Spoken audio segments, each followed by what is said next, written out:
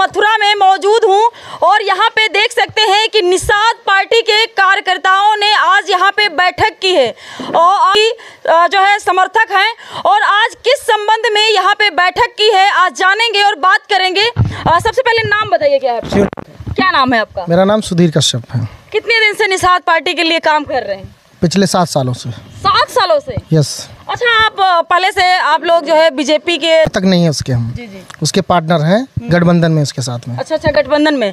तो अभी रामपुर मथुरा में आज आपने बैठक की है किस संबंध में बैठक की है इसका उद्देश्य क्या रहेगा? डॉक्टर साहब ने सैंतीस लोकसभाएँ चयनित की हैं जिस पर हम लोग जहाँ पर हम लोग जीतने लायक रहेंगे वहाँ पर हम लड़ेंगे और जहाँ पर बीजेपी रहेगी वहाँ पर बीजेपी को जो है सहयोग किया जाएगा। अच्छा। तो सीतापुर सैंतीस लोकसभा सीटों में है इसलिए हम लोग इसको बूथ गठन के लिए आप यहाँ पर ब्लॉक के लोगों को बुलाए थे अब एक गाँव में जाएँगे बूथ गठन करके हमें पार्टी को पहुँचाना यही हमारा उद्देश्य है। सिर्फ़ पार्टी के जो निषाद लोग हैं उनको जोड़ने का काम कर रहे हैं आप लोग नहीं निषाद तो पहले से जुड़े हैं हाँ। मछुआ समुदाय का जो 18 परसेंट वोट है वो डॉक्टर संजय कुमार निषाद जी के कहने से पड़ता है हाँ। इसका उदाहरण यही है कि माननीय ज्ञान तिवारी विधायक जी दोबारा विधायक नहीं होते।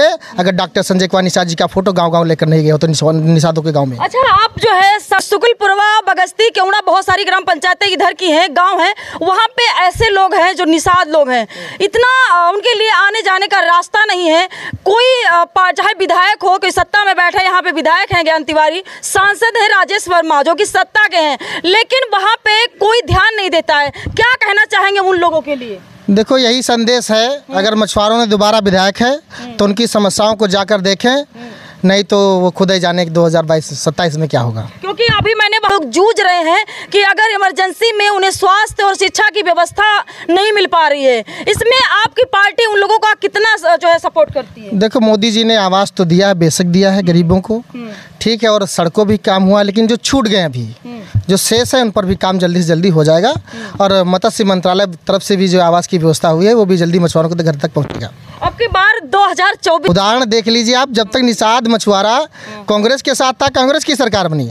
उससे के बाद हम लोगों ने हाथी का साथ दिया हाथी की सरकार बनी। उसके बाद हम लोग साइकिल का साथ दिया साइकिल सरकार बनी। हम लोगों ने इस बार बीजेपी का साथ दिया तो बीजेपी की सरकार बनी। निषाद पार्टी जिसका जो है साथ देती है उसी की बिल्कुल उसी की सरकार बनती है। आप देख लीजिए ना 2018 के चुनाव में गोरखपुर में हम लोगों ने लड़ा सपा और बसपा और निषाद गठबंधन में। तो हमने योगी जी की हाथ सीट को हरा दिया, भाजपा को।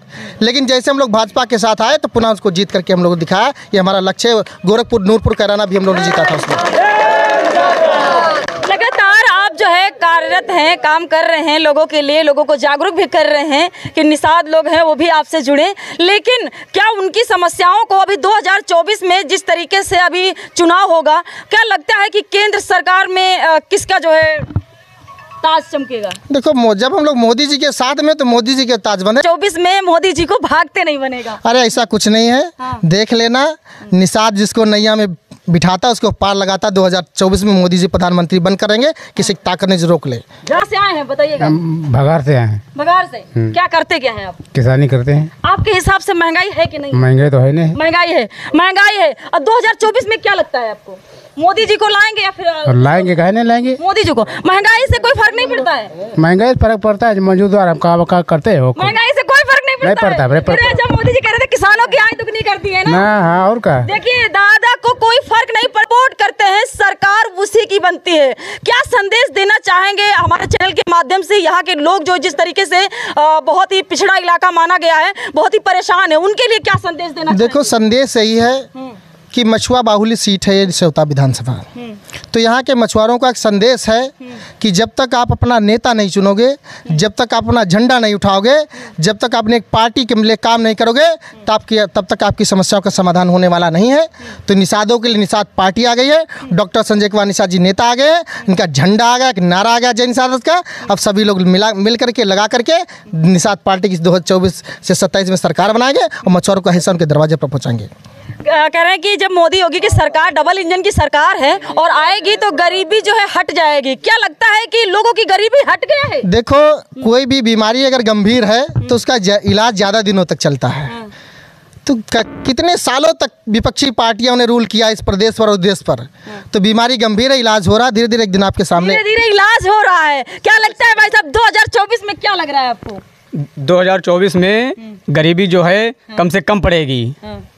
अभी अच्छा इतनी महँगाई है महँगाई पे क्या कहेंगे? क्योंकि आप बीजेपी के लोग हैं बीजेपी के लिए काम कर रहे हैं। तो बीजेपी से ही सवाल करेंगे ना कि इतना सिलेंडर इतना महँगा हो गया उस पर क्या कहेंगे आप? तो सिलेंडर अगर महँगा हो गया तो सिलेंडर का पैसा सबसे थी और जो है अब जैसे कहीं कहीं अब यहाँ आपके रामपुर मथुरा में लकड़ियों का हो सकता मिल जाए हमारे उधर से कहीं कहीं लकड़ी नहीं मिलती है अगर लकड़ी भी खरीदेंगे तो भी छः सात सौ रुपये कुंटल होगा तो अगर सिलेंडर हमें ग्यारह सौ चालीस का मिल रहा है तो आप लोग ये बताइए यहाँ पे रामपुर मथुरा में कितनी आबादी है?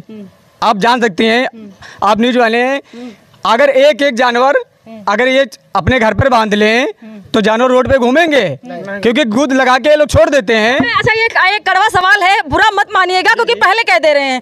क्या आप दो गाय पाल सकते हैं? जी? क्या आप दो गाय पाल सकते हैं? ए, एक, दो एक। पाल सकते हैं। एक तो पाल ही सकते हैं। पाल सकते हैं क्यों नहीं पाल सकते पहले स्टार्ट किसको करना चाहिए बताइए आप? अरे हमसे सवाल मेरा कड़वा है मैं सवाल कड़वा ही मेरे, मेरे वहाँ गाँव पली है गाँव में। एक नहीं दो दो पली है।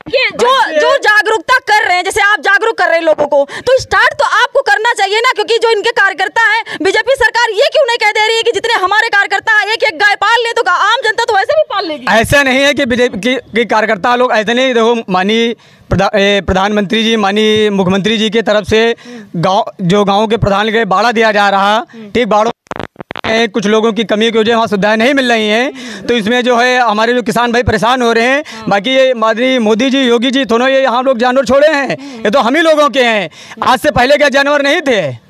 बताइए। अच्छा दादाजी आप कहाँ से आए? एक मिनट दादाजी आप कहाँ से आए? से। भगहार से। गमछा से लग रहा होगा कि किसान है मजदूर है। थोड़ा सा आगे आ जाइए क्योंकि बात करेंगे किसानों की क्योंकि हम जनता के लिए काम कर रहे हैं ग्राउंड लेवल की रिपोर्टिंग करते हैं।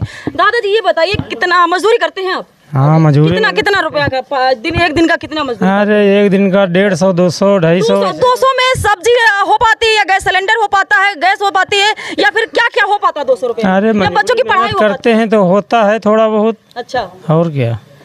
अब दादा क्या कहें? अब इनके लिए कोई शब्द नहीं है, क्योंकि यहाँ पर निषाद पार्टी के कार्यकर्ता बैठे हुए हैं और बहुत सारे जो है, सवाल भी होते हैं। लेकिन मेरा एक सवाल ये है, सरकार से, कि जो अभी बाढ़ क्षेत्र है, लगातार जो है, हर साल बाढ़ आती है, क्या उनके लिए कोई योजना नहीं है, जो हर साल जो है, बाढ़ में जूझते हैं और लैया चना से जो है, सरकार काम चलवा देती है? उनके नेता मंत्री आते हैं और लैया चना बांट चले जाते हैं। क्या कहना चाहते हैं? ऐसा तो ये, ऐसा जो आपने बताया कि लय- चना दे जाते हैं कहीं कहीं वैसा नहीं, भंडारे का भी जो होता है ऐसा नहीं कहीं कहीं बाढ़ में आई जैसे भंडारा अगर कर देंगे तो भंडारा कितने दिन तक चलेगा? दो दिन चलेगा तीन दिन चलेगा एक महीना तक चलेगा? ऐसा नहीं करने वाले अगर चाहें तो सब लोग कर सकते हैं मिलके ठीक है? अगर हम लोग चाहें तो कर सकते हैं। अगर आप वहाँ कोई बाढ़ग्रस्त ऐसा गाँव है तो आप हमें लिखित दीजिए हम वहाँ भंडारे का कार्य हैं। लेकिन आप क्या वहाँ पर एक बार गए? क्योंकि आपकी निषाद पार्टी है लगातार जो है योगी मोदी का जो है डबल इंजन का सपोर्ट करती है क्या आप एक बार जाएँगे वहाँ पे? अगर वहाँ जाते ही आपको पता चलेगा जब वहाँ की गलियों से गुजरेंगे तो आपको पता चलेगा कि वाकई में ये पिछड़ा इलाका है किन किन समस्याओं से यहाँ के लोग जूझ रहे हैं। इसीलिए तो हम लोग निषाद पार्टी के कहता हूँ गाँव गाँव को बूथ स्तर पर काम कर रहे हैं कि आपके लोग की जो नली नाले जो जहाँ पे पानी भरा है भराव ज़्यादा है वहाँ पे जाइए समस्या बताइए। ठीक अधिकारियों से मिला जाएगा काम कराया जाएगा। ये तो है नहीं कि ये काम जो एक दिन में हो जाएगा क्योंकि ये आज से तो है नहीं ये आज लगातार कभी अभी अभी यहाँ के लोगों के लिए क्या संदेश देना क्या कम करना चाहते हैं? क्योंकि आपकी सरकार क्या करना चाहती है? हमारी सरकार जो है जो अभी जो है उनसे जो हमारे यहाँ बाढ़ग्रस्त के लोग हैं ठीक है वो लोग अधिकारियों पे जाइए। अगर अधिकारी नहीं सुनते हैं तो हम लोग जो निषाद पार्टी के कार्यकर्ता उनसे मिलिए और जो उनकी समस्या है उनका हल किया जाएगा। अगर नहीं आएगी सरकार यहाँ पर तो सरकार के जो लोग हैं, जो कार्यकर्ता है, निषाद पार्टी के जो लोग हैं, वो गरीबों के लिए काम करेंगे। तो जय हिंद दोस्तों, बने रहिए हमारे चैनल के साथ, देखते रहे इंडिया की सोच।